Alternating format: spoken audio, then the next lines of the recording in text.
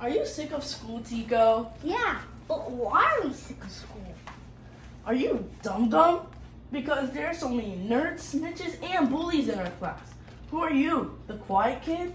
Don't know about that, dude, but you're right about the nerds, bullies, and snitches, especially in my class. Yeah, we can totally see that. Then let's start a protest. But how do we do it?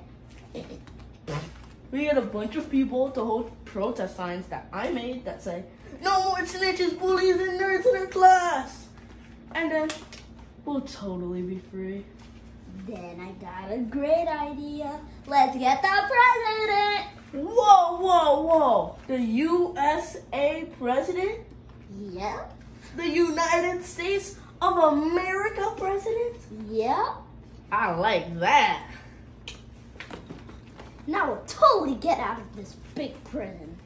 All right, that's plan. Let's go. Hold on. What about homework?